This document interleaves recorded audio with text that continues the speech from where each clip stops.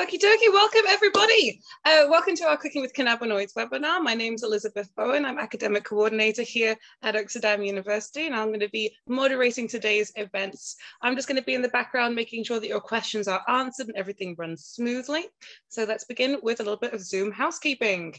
If this is your first Zoom meeting somehow, here is how you engage. Zoom has a wonderful chat box feature, which you are encouraged to use at any point throughout today's webinar. Uh, you can use that to chat with each other, share resources, uh, ask questions. There's also the Q&A tool. The Q&A tool I love for events like this because you can ask a question, you can vote on other on other students' questions, and I can let you know if we're going to be addressing your, your questions live or asynchronously. So do I encourage you to participate in the chat, participate in the Q&A, and um, at, this, at the appropriate time, use the raise hand tool if you'd like to voice a question.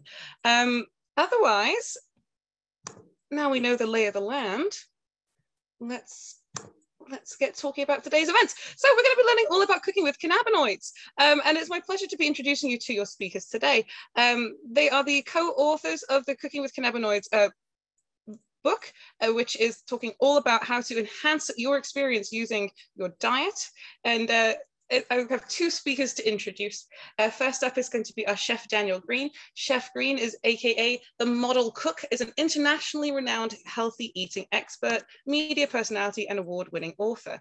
Throughout his expansive career, he's cooked for royalty and dignitaries and continues to design healthy menus for airlines and hotels around the world. Daniel's simple approach to healthy eating has been so popular that he's been featured in numerous magazines in the UK, the US, and across Asia.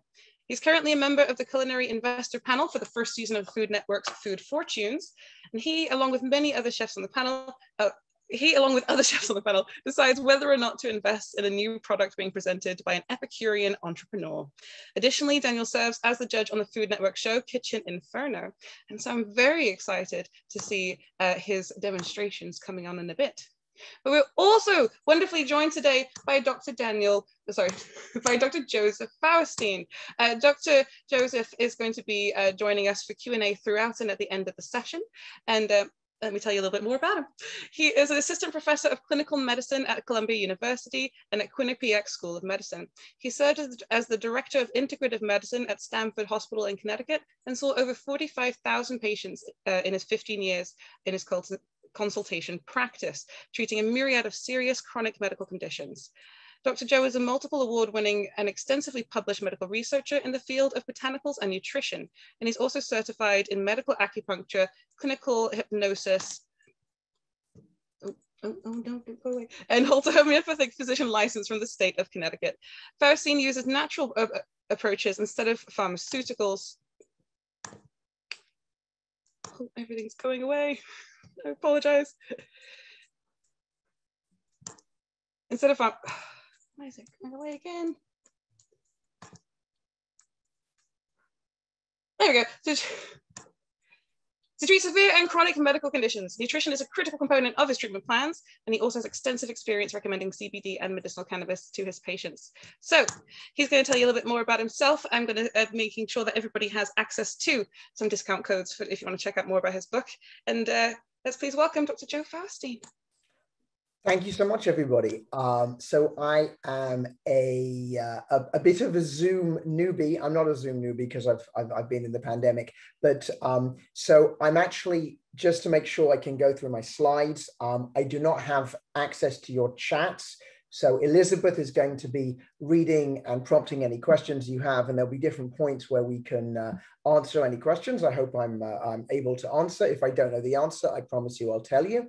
Uh, so, um, you know, today, essentially what we're going to do is talk about uh, conceptually um, this concept of a cannabinoid rich diet. Um, Daniel's going to do um, two cooking demonstrations. Uh, if you want to cook along, you can feel free. I know that we did send everybody the recipes so you could prepare them and do them. They're seven, eight minutes uh, a piece um, if you feel that uh, uh, you want to cook. And if not, then you can just watch him cook, uh, which is what he does on the Food Network.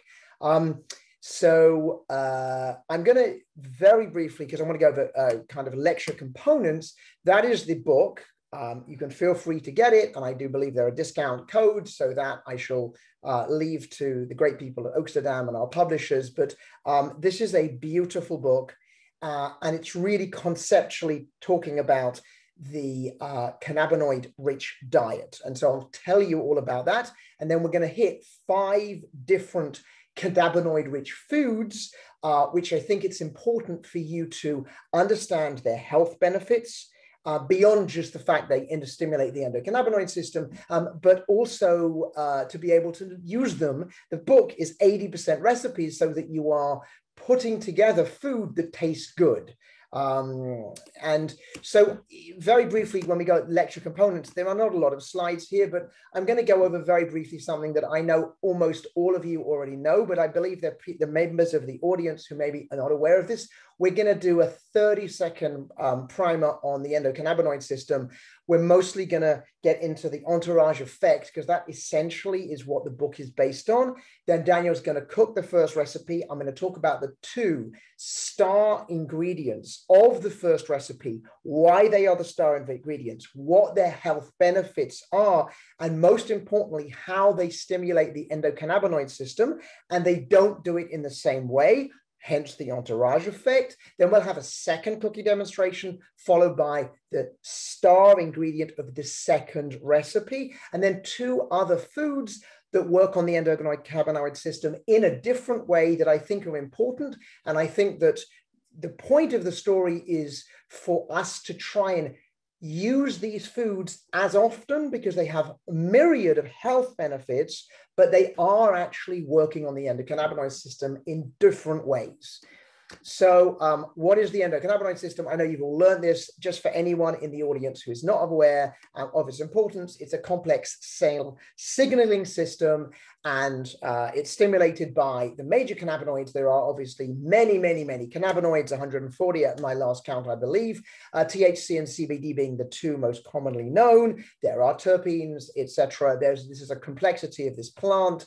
Um, well, what does it do? Uh, it's basically the homeostatic mechanism. It is how we get back into balance. And I've given this lecture many times to doctors, and I am embarrassed to say, and I'm a Western trained physician with a fellowship in integrative medicine that most of my physician colleagues who are not uh, particularly familiar with integrative medicine have no concept they even have this system of the body. And it's incredibly important because it is essentially the homeostatic system of the body, meaning it's going to help with regulation of sleep, mood, stress, metabolism, appetite, digestion, learning, memory, fertility, bone, liver, cardiovascular health. I'm just reading a list obviously pain, inflammation, all of these things. So it's incredibly important in the body. And so just to conceptualize, there is some kind of trauma to the body and uh, the endocannabinoid system is then activated. And that is what gets us back into homeostasis or balance. So it's working on multiple other systems of the body, and it's incredibly important. There is some clinical evidence of a thing called clinical endocannabinoid deficiency. Um, and I'm not going to give you a lot of studies, though there are. I'm also not going to talk too much about CBD and THC because you guys are well aware of that. I'm going to talk about foods that do what they do. Um, and so, uh, what we realize from this is that it may be that things like chronic conditions like migraine, irritable bowel, fibromyalgia may have a relative deficiency in stimulation of the endocannabinoid system. Now, I've seen 45,000 patients for integrated medicine. I can tell you migraine, IBS, and fibromyalgia are complex diseases, and it's not just one thing. If it was one thing, we'd have fixed it. Uh, so it's actually more complicated than that, but an element of a deficiency, a lack of activity, a lack of stimulation of the endocannabinoid system probably plays a role. So the history is very brief. I think everybody knows who this gentleman is. He very kindly accepted a copy of my book. He was very excited about it. As I said, the book is essentially based on the, the entourage or the cascade effect. That is, of course, Professor Rafi Mechoulam. He is the godfather of cannabis research. And uh, so, very briefly, his story is the story in my opinion, of cannabinoids and cannabis research in the last 50 years. Uh, obviously, cannabis has been used for thousands of years by humans. It's in the Ebers Papyrus, which is an ancient Egyptian medical text, along with opium and senna. Uh, and that was uh, three and a half thousand years ago. So we're not doing anything new. We are doing something that has been used by humans for thousands of years. So 1964, Professor Mechoulam takes cannabis sativa uh, and he isolates THC. Uh, and then in 1984, we work out that we have CB1 receptors in the brain. Uh, they're one of the most uh, abundant G coupling receptors of the brain. Um, and then in 1981, uh, 82, so, uh, uh, 89, sorry, we work out that we have CB2 receptors in the body that are associated with signaling inflammation. They're in multiple different sites. Again, you guys all know this, so I'm going to blank through it fast to remind us. So when we get to the point, which is the foods, you'll understand some context. Um, and then from my point of view, very interestingly, obviously, the body has its own cannabinoids. Like we must have our cannabinoids. If we have CB1 receptors and CB2 receptors, we must have the agonist, as they say in pharmacology, which is the thing that stimulates those receptors, and that's 2AG and anandamide and they are made from omega-6 fatty acids, which will become important later on in my talk. And then the main part of the concept for the book is the entourage effect, which is now 20 years ago, uh, 23 years ago, which was a postulation by Dr. Uh, Professor Mechoulam, that because cannabinoids, cannabis has multiple tens, even hundreds uh, or more cannabinoids, and they're all affecting the endocannabinoid system a different way. More is is is is is going to essentially augment the effect. So this one's going to stimulate in this way, and this is going to stimulate in this way, and this one's going to do this in this way. This might have a slight inhibitory effect, but the whole picture is to move this forward and have more of a clinical effect. And there are actually studies showing that if you use uh, THC and CBD as opposed to just THC, it may help with things like cancer, uh, uh, cancer associated pain. There are some clinical studies on that.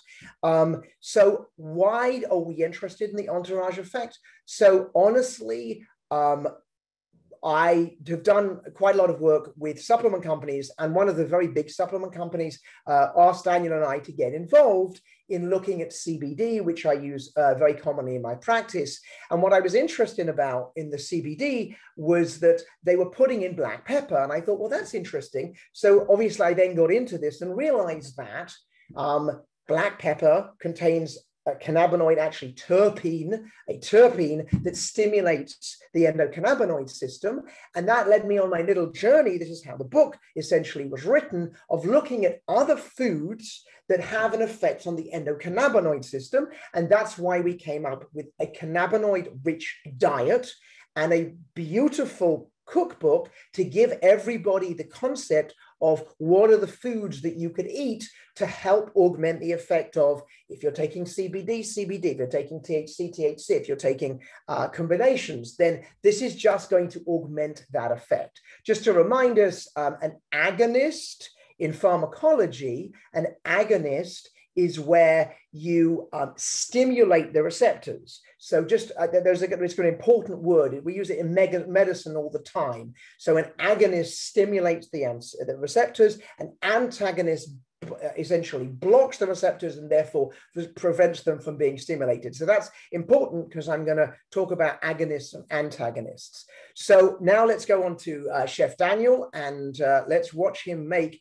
a delicious uh, plant-based recipe. Thank you, Dr. Joe, and thanks all of you for watching today. I really appreciate it and getting to know a little bit about cannabinoids, which was kind of new to me.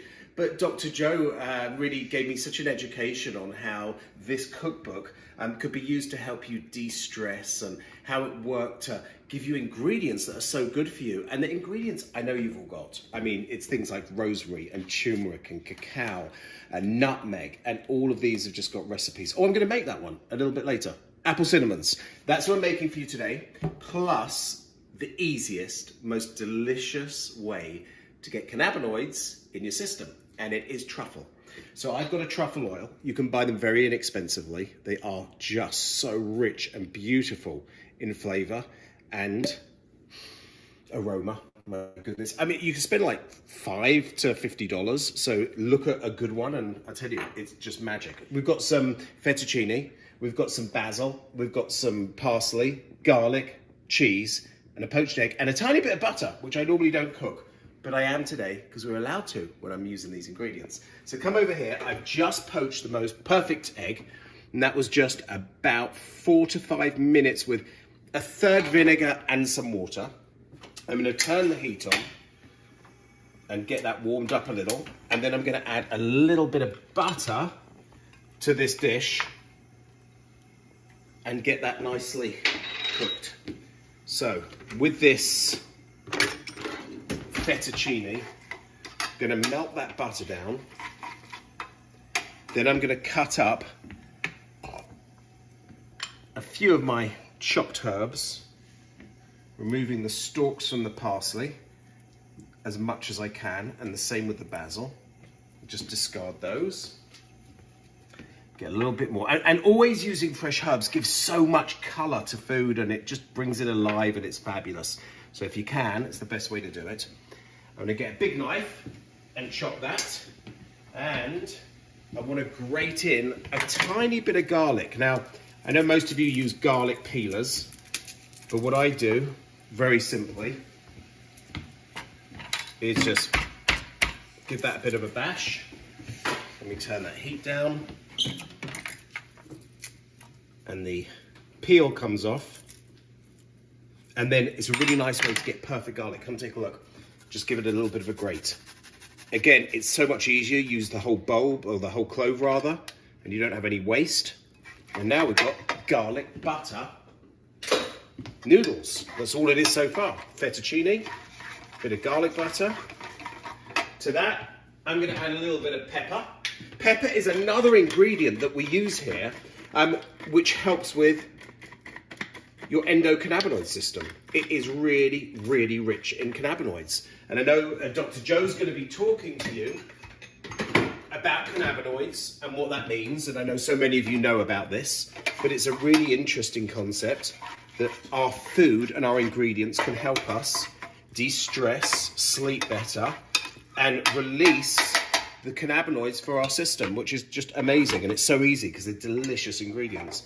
Turn that heat up a little. Okay, lots of fresh vegetables. I'm gonna take heel of a knife, give it a really nice fine chop. Go the other way. And then we've got some beautiful herbs that are going to just release flavour. So what I'm going to do is start off by putting a little bit of them in there and then give it a turn. Um, Dr. Joe's going to take lots of questions after. Um, we were so excited to work on this project for the book. It's my 12th cookbook, but this was just interesting because I've always focused on healthy, low-fat dishes, low carb dishes, but this was just a really interesting concept because everyone wants to feel a little bit more de-stressed and better. So these ingredients are so powerful. And Dr. Joe's all about the power of food rather than medicine. Okay, so that goes in there. We get a little bit of our Parmesan cheese. That goes in. Oh, it's delicious. It's so easy. Now, I did pre-cook the pasta, and all I did was heat it through but I drained it. If you do, and it's a good trick, if you want to make pasta and you want to cook it ahead of time, cook it to the instructions, drain it, put it in a Ziploc bag with some olive oil, and that way it keeps it nice and separate and you don't have like a big lump stuck together, and just reheat it. So if you're having guests over, it's a great way to entertain. Okay, now, the magic, the truffle oil, a little bit dramatic, but I have to be dramatic because it's such a brilliant ingredient. That goes in. Goes in at the end because I want it all for the aroma and the flavour. And now we're talking top class, top, top class restaurant cuisine. Nice, huge, comfort food helping. Does it smell good? Oh, that smells good. And we're going to take a poached egg. If you don't like um, the excess vinegar, all I do is you rinse that through a little bit of water. That poached egg goes on top, a little bit more parsley to give it colour, and then I'm going to cut through that in a few moments. But there you've got your first dish. Easy to make, wonderful. Anyone can do it. Rich in cannabinoids. Now it's dessert time. We'll leave that over there. Okie dokie, we've got a hand raised. Raphael, you are able to unmute if you would like to ask a question.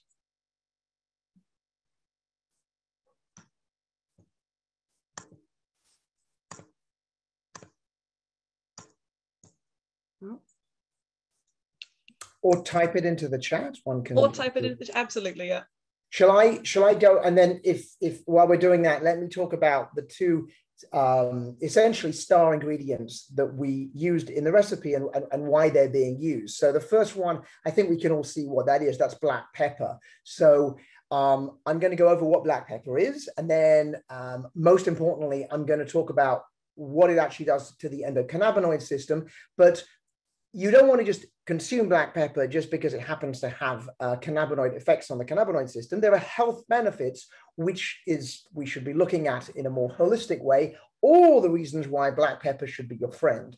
So, uh, Piper nigrum, this is actually something uh, we use all the time uh, in integrated medicine um, uh, for a variety of reasons, which we'll go over. This is the king of spices. It's the most traded spice in the world. It starts off as this vine like plant, and then it has the fruit of the vine, which is the peppercorn. And the picture I just showed you was the peppercorn. Those are dried and cooked and ground. And literally, when you are grinding pepper, you are grinding these the, the, the dried fruit essentially.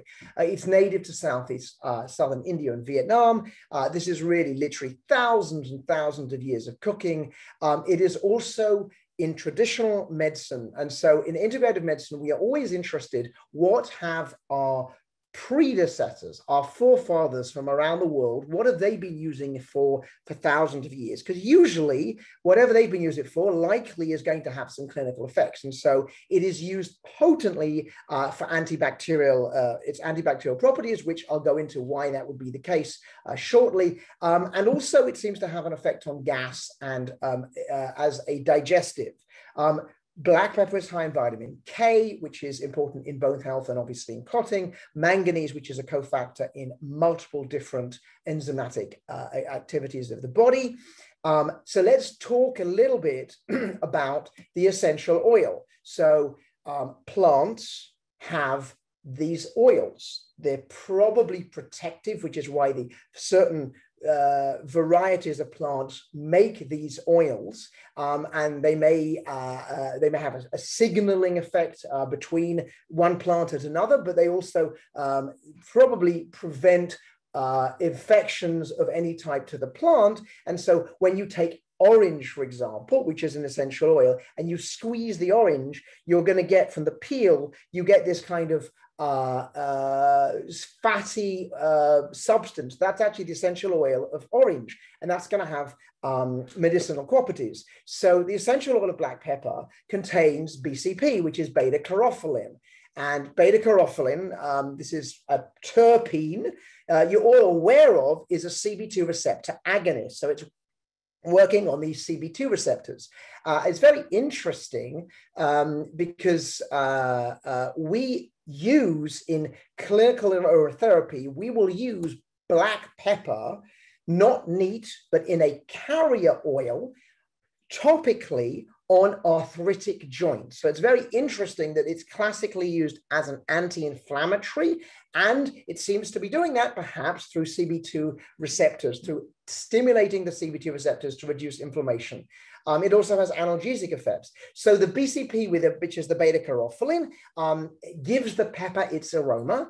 It is potently antioxidant, uh, uh, um, but it has lots of antioxidant properties. But the other thing about it is like most essential oils, it's potently antimicrobial, which is why you could see that it was used in uh, Chinese and Indian uh, and, and, Vietnamese uh, tr traditional healing, it may be used for bacterial infections because the essential oil and the beta carotene part of the, of the essential oil is going to have potent antimicrobial agents uh, properties. So just to give you frame of reference, I think we all know this because because BCP is quite a well-known beta carotene, beta C, BCP is quite a well-known terpene uh, cannabis sativa that you're all uh, very aware of in Amsterdam uh, is between 4 and 40% almost BCP. So it's one of the most, most important terpenes. Um, black pepper is about maybe 8 to 10% of that, but using it is to add see you know just adding uh, essentially more beta carotene in your diet in addition to whatever you're using in terms of thc and cbd so black pepper is one of the uh, spices that we love and we should be using for those myriad of reasons and also because it's going to work on cb2 receptors to stimulate them. The second ingredient this i love i get very excited about this is truffles. So remember Daniel, when he does the recipes, we didn't just put every single uh, cannabinoid rich food into a blender and just drink it because that tastes awful. He's a brilliant chef. He's written 12 books. And so he puts these together. But the point of the book is that he's going to have more than one cannabinoid in each recipe. So he's going to make sure that you're using truffles and you're using uh, um, uh, uh, you're using um, uh, black pepper, the black pepper a CB2 agonist uh, working on the CB2 receptors, and the truffles. I'm excited to tell you what that does before we get into the next cooking demonstration. So truffles, tuber melanosporum This is the fruit light it's a fungus, we all know that. It grows under the ground and it's essentially growing near the roots of oak trees. And this is, you're playing the long game here because it's going to take seven to 10 years to really colonize these roots.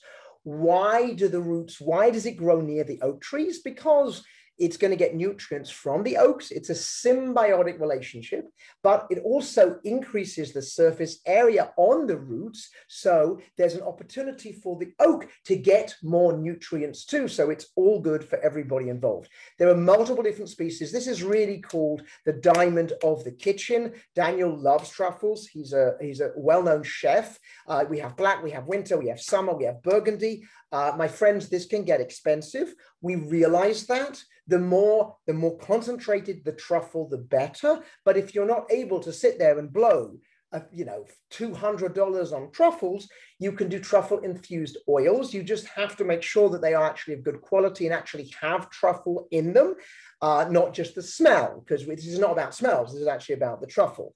Um, the history of truffles is uh, that it's been around for, again, 4,000 years. Humans have been eating truffles for 4,000 years. Uh, and uh, the ancient Greeks thought truffles were made by lightning strikes hitting warm earth. And that was how a truffle was made. Truffles are spectacular from a nutritional point of view. And why? Because they are a complete protein. So, to remind everybody what that means, we have essential amino acids. Those are the building blocks of protein that we have to consume. You cannot make them in your body there are many less plant protein uh, foods that are that contain all the amino acids we need, all the essential amino acids, but truffles are one of them. So this is a great, great food. It also has carbohydrate, obviously it's got fat, it's got calcium, magnesium, manganese, and iron. Calcium, magnesium have multiple effects on nerve conduction and uh, on, uh, I mean, just a myriad of things, bone health, manganese again, iron, uh, important in red blood cells, but also important in a load of other things, in, in, including neurotransmitter effect. Interesting thing about ADD and iron, which we could get into at some point. Um, the truffle has an oil. The oil, therefore, is antimicrobial, has antioxidants and potentially anti-cancer uh, uh, compounds in it. Those are all in a test tube. So what does it do to the endocannabinoid system? And then I'll have Daniel give you the second recipe. Truffles are very, very cool. Basically, you have these truffle pigs. We've all seen them uh, in pictures in Southern Europe uh, and they're going over southern France, and they can dig down four feet to go and find the truffles. And then they eat the truffles, which they're not supposed to be doing. They're supposed to be giving the truffles to the truffle pig owner. Why are they eating the truffles? Because the truffles, my friend, are pure anandamide. They are literally made of anandamide. And to remind everybody, anandamide is a CB1 receptor agonist. It stimulates the CB1 receptors in the brain. And anandamide is uh, what we make in our brain. It's uh, and, and, in our body. It's a uh, um, it is the bliss molecule. So truffles are full of anandamide. Why is it that they would be full of anandamide? Because truffles don't have a uh, endocannabinoid system. And the answer is it's a beautiful thing. The pigs are going to eat the truffles. The spores are in the, uh, are in the truffle. The spores are resistant to acid. They will go through the digestive system of the pig. And then 24 hours or less later, the spores will be spread all over southern France in the stool of these pigs. And that's how they propagate. That's how they get to all these oak trees. Um, and so we love them because anandamide is going to stimulate CB1, CB2 receptors as an agonist. Um, so I'm going to let Daniel get to recipe number two. Uh, are there questions, Elizabeth? Certainly. So I'm going to go through the questions in the Q&A first, and then I'm going to uh, give it a go with that raised hand. Uh, Mia has a hand raised, and Raphael has asked his question uh, in writing. So Right. address all these. So first up is a question from Marco. And Marco's asking, are we saying that black pepper, truffle oil, etc., have cannabinoids or just terpenes? Oh, so um, yeah, so you're being absolutely right. When we wrote the book, to try and explain to everybody that there are terpenes and there are cannabinoids is not something you can write in a typo. We realize that there are cannabinoids and there are terpenes. Uh, beta caryophyllene is obviously a terpene anandamide is an uh, is a is is is a, is a cannabinoid. So the book actually has multiple terpenes in food and multiple other uh, cannabinoids. We're not going to go over all of them tonight, but uh, yes, I realize that that's uh, that, that being very specific. Beta caryophyllene and the beta caryophyllene foods are terpenes, but they're the same terpenes as you're going to get in uh, cannabis sativa or, uh, oil, frankly. Um, so they're definitely something that you would want to eat. Uh, and then we'll get on to some of the other foods and how they stimulate the cannabinoid system, the endocannabinoid system. We call it the cannabinoid cookbook because it's just an easier way to put a very complicated subject together. Thank you so much. Mm. I appreciate I appreciate the, the, the deeper dive for this yeah, audience. I was expecting that question. Absolutely. All right, next up we have a question from Cody. Cody's asking, when you make cannabis butter, should you decarb the bud or would you say it's dependent upon what you're going to cook with it? Um, I think it's dependent on what you're going to cook with it. That that's what I would go with. Yeah, from from from my experience, I would say if your intended effect from the resulting product it would be THC, you know, delta nine THC in that experience. It's probably a good idea to decarboxylate your your material beforehand. Right. Just right. You, get, you get a higher percentage of, of, of you know a better extraction rate that way. Right. Um, but there are cooking techniques you can use that will uh, decarboxylate during the cooking process. Um, there are also uh, there's a risk of losing some of your precious cannabinoids during the cooking right. process as well. So no question uh, about that. Which is, and remember, uh, some of these uh, compounds are aromatic, and therefore yeah. they are quite delicate. So hence the reason why cooking has limitations. Absolutely. So short answer, it hmm. depends mm. on what you're going to cook with it. Yeah. okay, here's the question from Raphael we've been waiting for. Uh, he's asking, uh, we need to use, uh, do we need to use cannabis in the recipes or are the ingredients there to make sure the endocannabinoid system works? So it's such a good question and I love it. Um, this does not have, the book does not have any THC recipes or CBD recipes. The concept is that the, especially the audience I'm speaking to now, I'm assuming you are using uh, CBD, THC, and cannabinoids in your life uh, for a myriad of reasons, uh, many of which I'm going to support myself. Uh, this is more about introducing it to the world because we want to make this not just kind of to certain people who are very familiar with this, but to everybody and to a lot of people, including my own physician colleagues, I have to educate them about the whole system. Um, but the idea is that having a cannabinoid rich diet is only going to augment the effect of what you're already doing. I make no mistake about this. You're taking 10 milligrams of THC or something similar, uh, eating a cannabinoid rich diet is not going to have the same effect as 10 milligrams of THC. I, I'm well aware of that. But it's more conceptually that these are foods, especially there are 11 in our book, and they have lots of recipes so you can combine them together.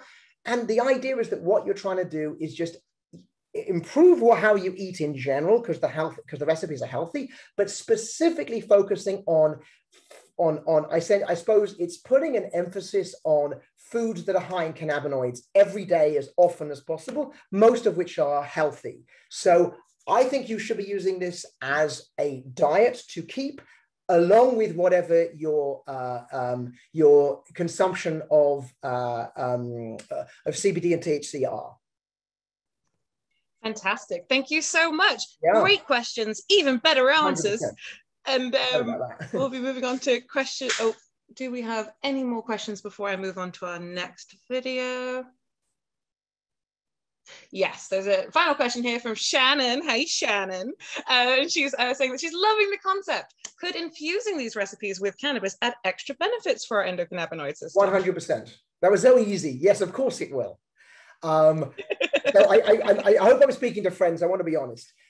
We kind of steered a little way, a little bit from actually using CBD and THC because we are trying to again expand. This is for the movement. I'm a big proponent of CBD THC, using it medicinally. Uh, uh, I, I, use it in my clinical practice. And so, but we need to get it to everybody. And there's a lot of people who have, um, uh, in my opinion, uh, you know, not always exactly the right information as to what it does and the fact that it's actually part of the normal functioning human body with your own system that does this. Uh, and so we specifically went with food because that was going to be less controversial.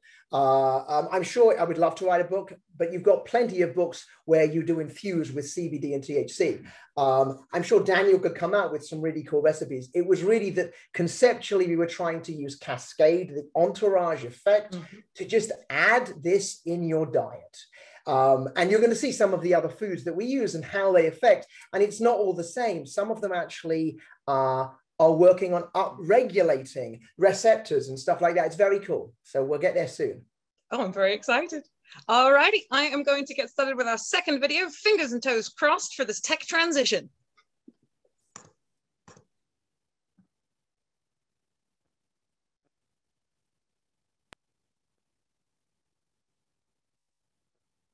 Come on over. Let's show you the ingredients here. We've got some rice flour, coconut flour, eggs, vanilla, milk. In the recipe, it's almond milk, totally up to you. Cinnamon, apples, and maple syrup. So to start with, I'm gonna heat my pan at the back. And I'm gonna get a little bit of olive oil in there. Oh, I do need a little bit of sugar. Just a tiny bit of sugar. And that's all I've got one little pack of sugar. So as that's going there, I'm going to take my apple and we're going to grate it. So I want to grate it not too fine. I'm going to use the largest.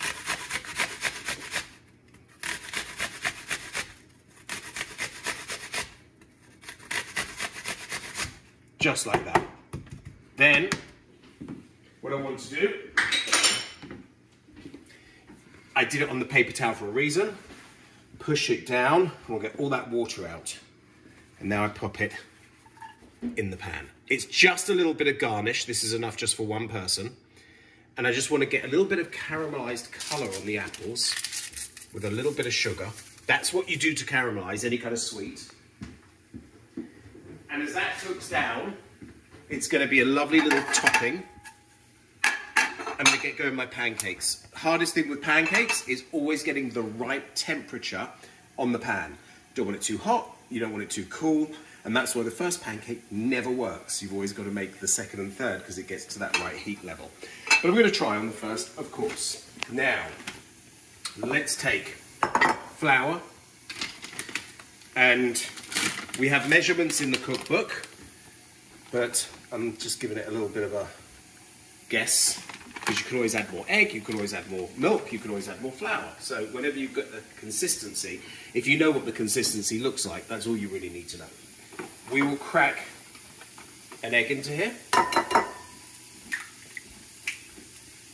I will put some cinnamon in there.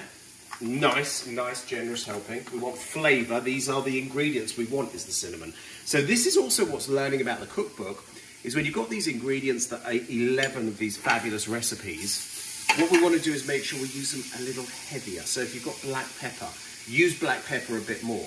If we've got cinnamon, use cinnamon a little bit more. There is some vanilla. It's going to give a beautiful flavour to those pancakes. Going to add a little bit of sweetness in the pancakes. And we're going to put some maple syrup in there with some milk. Again, I'm not doing the recipe exactly. I'm giving it a bit of a guesswork, but I know what the consistency should be for the pancake. And actually, you know, if you don't know, pancakes and crepes are exactly the same. It's just what level you get that to. So at the moment, that is more like a dough, which we don't want. And I want to get that nice and loose. This is a very big whisk. Let me see if I can get that out. There we go. I might need a bit more milk. Going to work that batter through. And the almond flour, I love. I love the almond flour on this one. Going to get a little bit more milk in there. I'm using regular 2%. You can use pretty much whatever you like. Almond milk, um, soy, whatever kind of floats your boat. I'm going to get that a little bit more combined. This is it. We're almost there. That's exactly what I want. You've got to give it some elbow. Get rid of lumps and bumps. Especially if you're using rice flour, you've got to give it quite a go. Beautiful. Lots of fresh fruit needs to go on that too. My apples are done. Just nice little colour, a little bit of caramelisation. It's going to go on top and it's going to give a natural sweetness. Put a little bit of oil in here. Just a little bit. See how that's, you can see it's the right heat because the way the oil moves around. Now, let's get a big spoonful of a pancake. And then what happens you can turn it up a little bit after, get a little bit of that oil in. You're going to see little bubbles come up, and those bubbles means it's time to flip it. Shouldn't take long. Again, remember, a crepe is exactly the same. So French crepe, beautiful. Um, it's just a thinner consistency. So you can always do these in crepes, and then you can wrap all that beautiful apple inside. So all you do is just add a little bit more milk. We want to get some nice colour on there. I'm going to take this garnish off now to speed things up. I'll tell you why. If I get that garnish off, I can then be doing another pancake over here because we're going to stack them. So you can do two at a time. Drizzle of oil.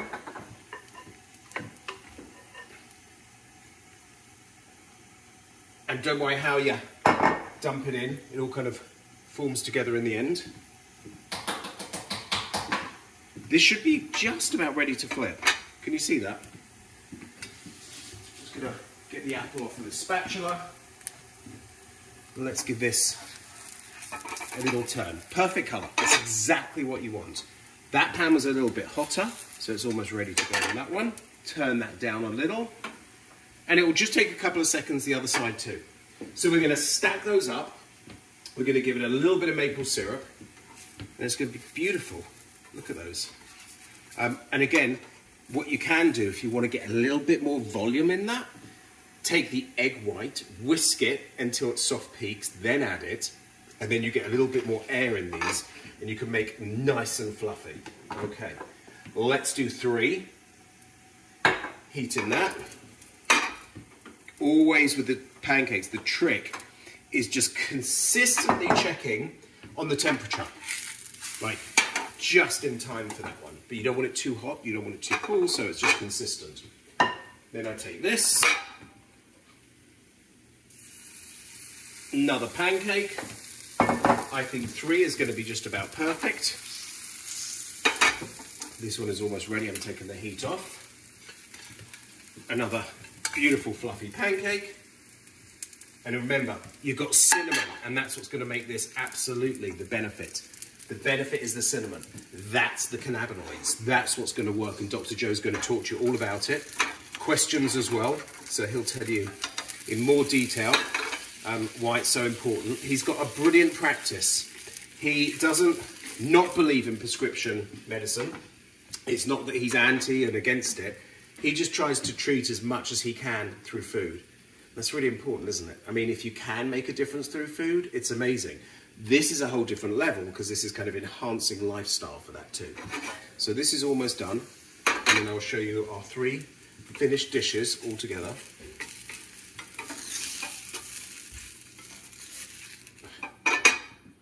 Take that off the heat, nice and hot. Give it a little drizzle of maple syrup and always look for the pure, pure maple syrup. Most the cheap ones are just synthetic and full of sugar, but there are some amazing, real Canadian maple syrups that are pure. They're very much, you know, more out the budget. They're definitely expensive, but they are worth it because they're so good for you. A little bit of cinnamon extra. And our apple goes on top there. And these are two dishes that I hope you can make at home. I hope you can make and have that wonderful realization of what cannabinoids can do. And then come over here, I wanted to just show you the beauty of this. Are you ready to dive in? Take a look at this egg. There is your truffle pasta. And look at that. Beautiful poached egg. That becomes part of the sauce. That becomes all kind of put together with the amazing aroma of truffle. So back to you, Dr. Joe. I hope you've enjoyed. I hope we've got lots of questions and um, we hope we can get you into cannabinoids. Thanks, everyone. Uh, those are cinnamon sticks. Cinnamon, which um, this is, uh, it's from the bark of multiple, you know, different species of the cinnamon family. Uh, it's really, as I said, this is all thousands of years old because it uh, comes from the, the Hebrew word cinnamon, which uh, uh, was described as one of the ingredients in the incense that was used uh, in the temple. Cinnamon was one of them. It had that great smell. In fact, the the uh, uh, the Egyptians used it as part of their embalming when they would embalm mummies. Um, and the Romans, uh, they were very big on cinnamon. In fact, um, a, a, pound of cinnamon could cost four years of wages. Uh, the Arabian traders used to tell the um, Romans, this is, I think, why it became so rare and therefore the cinnamon market was so good that it came from mythical cinnamon birds, which is not actually uh, accurate. It comes from a tree, but that would hike up the price of the product because they were mythical cinnamon birds um, native to China and in Indonesia, and it has that smell. That's an aldehyde. Uh, the chemistry is important, uh, called cinnamaldehyde, which is found as in an essential oil of cinnamon, gives that extraordinary flavor. Um, lots of health benefits. I'm just going to go over this. So just remember, 100 grams of cinnamon, that's a lot, but just to give you some idea, that is going to give you 100% of your recommended daily amount of calcium. You're not going to eat 100 grams of cinnamon, but it's high in calcium, it's high in iron. Calcium is important in multiple effects, including bone health, but also, uh, uh, uh, frankly, in heart health um, and a vitamin K, which is important in bone health and obviously in clotting. Um, it's got polyphenols in the cinnamon, which are antioxidants.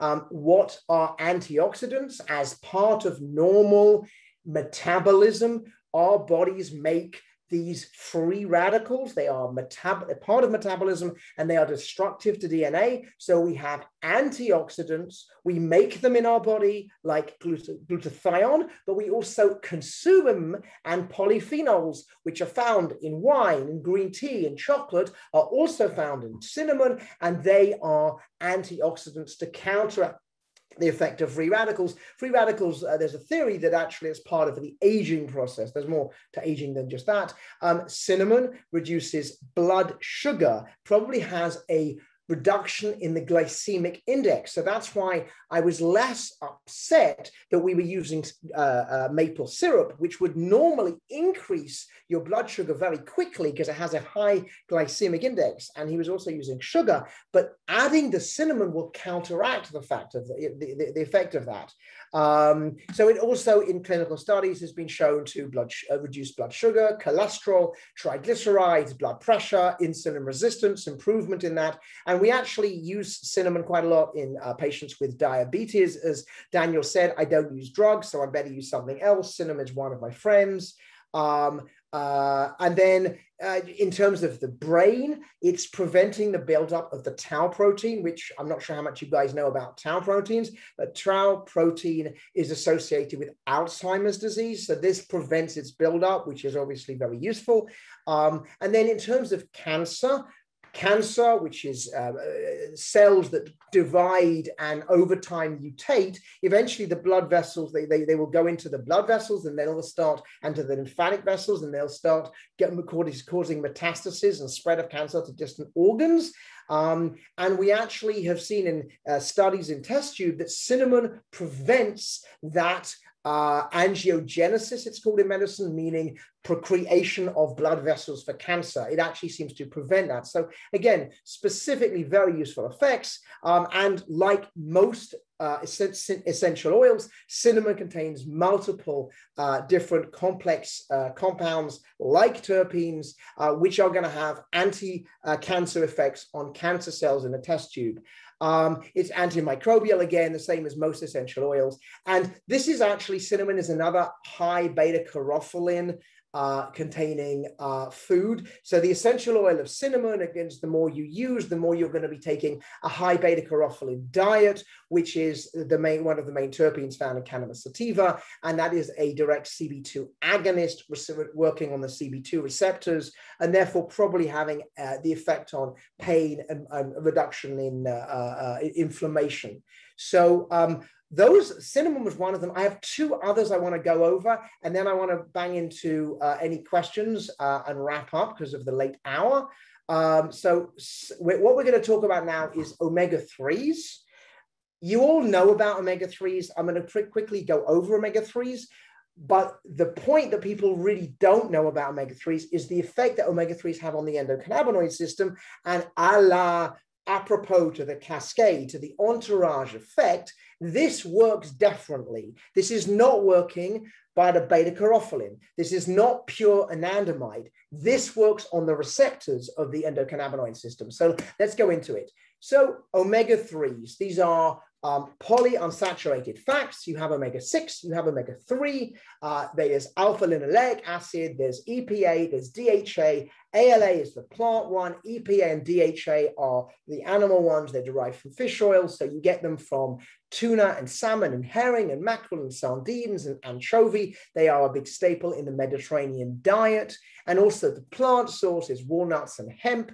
Here we go. Uh, and chia, soy, kidney beans. And it's important to have a diet that is high in omega 3s, uh, plant and uh, uh fish, uh, fish if you, if you eat fish. Not everybody eats fish or can eat fish. Um, so what we know from studies, again, everything I tell you here has clinical studies to, uh, to, to show its, its um, accuracy and validity. People who have consume omega 3s. This is not supplements. Obviously, my area of focus is supplements, but just consuming them in your diet. And I would say the main protein in my personal diet is fish. That's probably my main protein.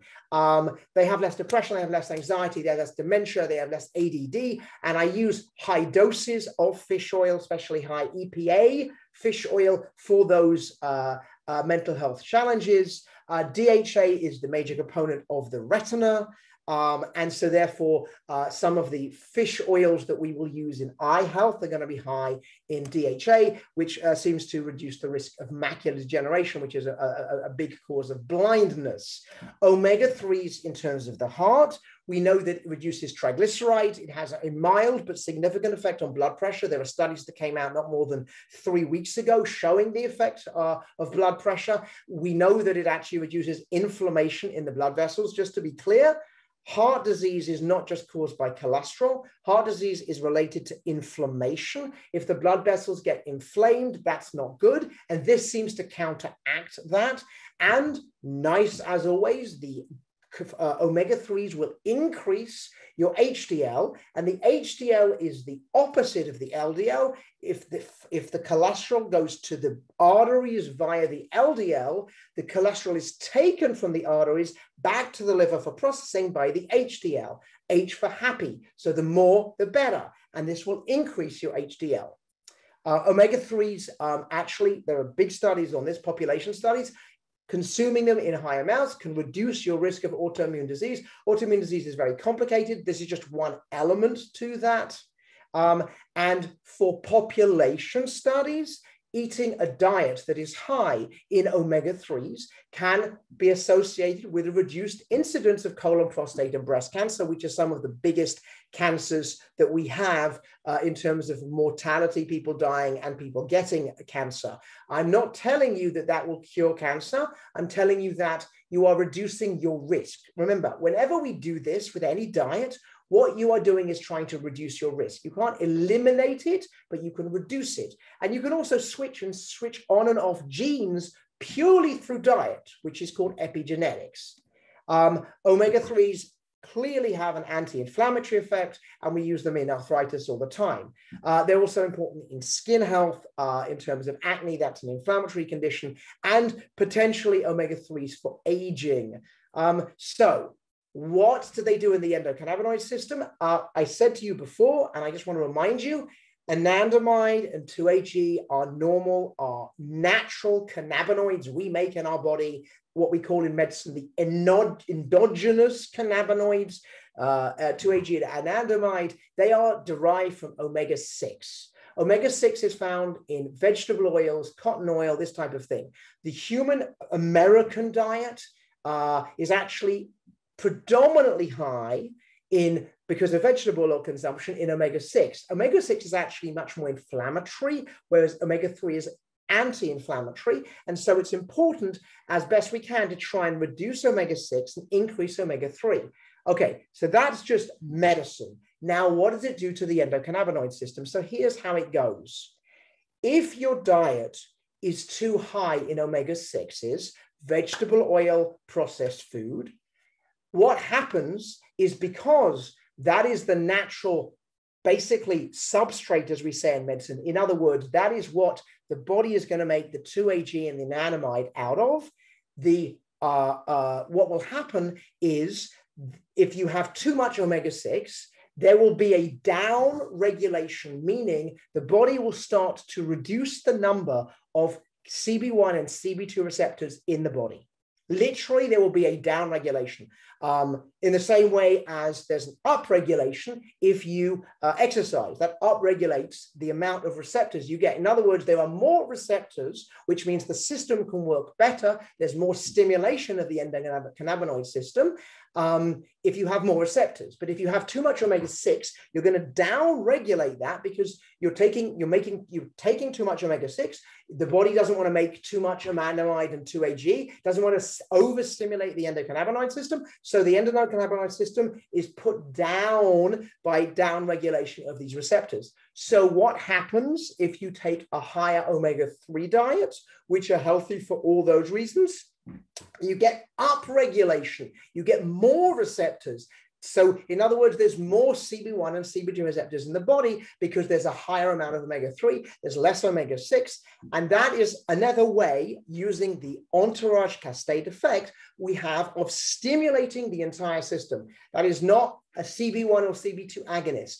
That is not beta caryophyllene. That's not anandamide. That is literally working on the receptors.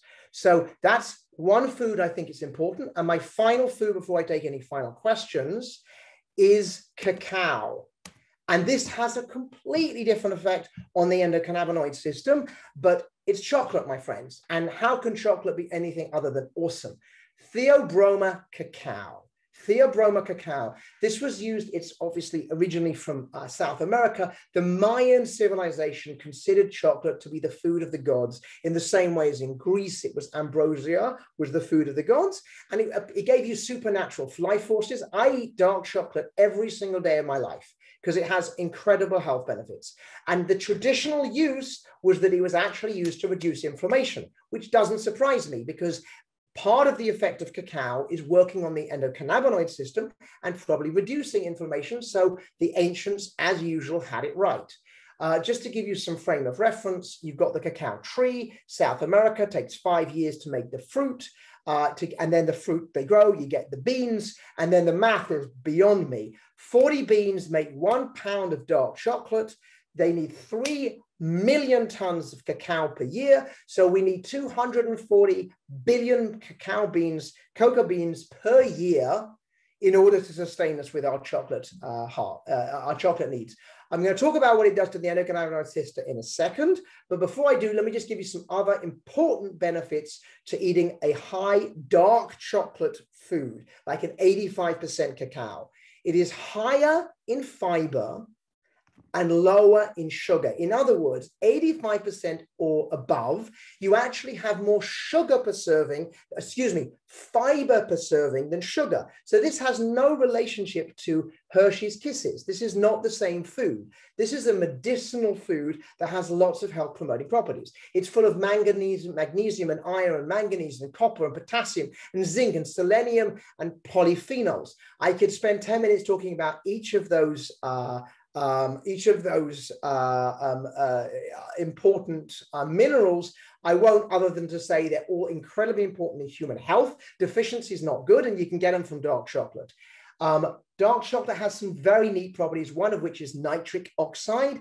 Nitric oxide is how we dilate our blood vessels and it increases nitric oxide.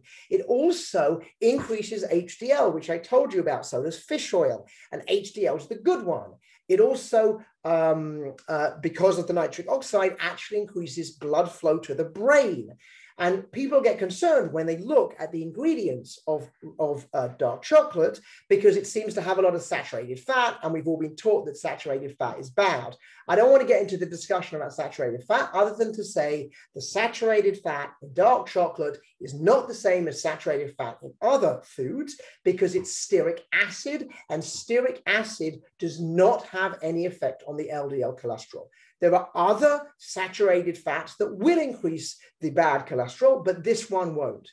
Okay, so let's finish off by saying, what does chocolate, theobroma cacao, how does that work on the endocannabinoid system? Again, different mechanism of action. So just to remind everybody, anandamide is broken down by A by FAAH.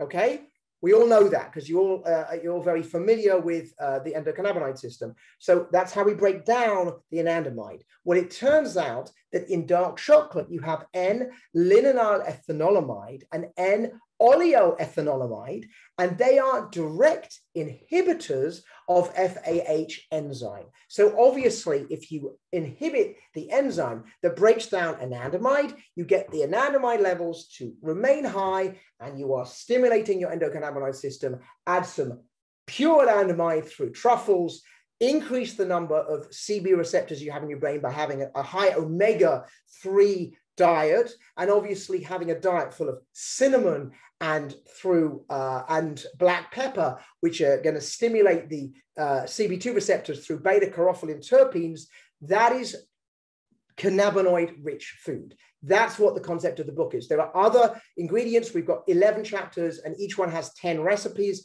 and we're using multiple different cannabinoids at the same time. The main part of the book is it is a cookbook and so if you want to know how to have a cannabinoid rich diet get the book and you and, and get cooking. And that's it, my friends. Thank you so much, Dr. Joe. Thank you, everybody, for joining us today. I'd love to see if we have any more questions before I close up our call. I know I learned some fascinating things that I had no idea about omega 3s. Another great reason to look uh, to, to eat your balanced diets. So please do pop a question in the chat, use that Q&A tool, or raise your hand and we'll give that voice to answer one more try before we close up for today? Oh, thank you so I'm, I'm very flattered by the now i can see the chats and i am i'm honored i'm really very excited to talk to you guys because Oaksterdam is well known and I'm talking to people who know about this system. So you'll get the nuance, you'll get actually what this is really about. But it is for the world because it's part of a movement and we're trying to get this to get to more people because uh, people should be using this just like they use chocolate. And Absolutely. they should be using chocolate. Amen to that. Yeah. Okie dokie. So um, everybody do check out the links in the chat there. There's a 10% discount code to purchase the cannabinoid cookbook and check out our courses here at Oaksterdam University. We have a couple of free courses. We do asynchronous and live programs. We'll be sending an email to all the participants in the next couple of days, and that email is going to have a link to a recording of today's webinar and also to those recipes that we've all been wondering about. So thank you again, Dr. Joe. Thank you everybody for joining us today, and I look forward to the next one. Ta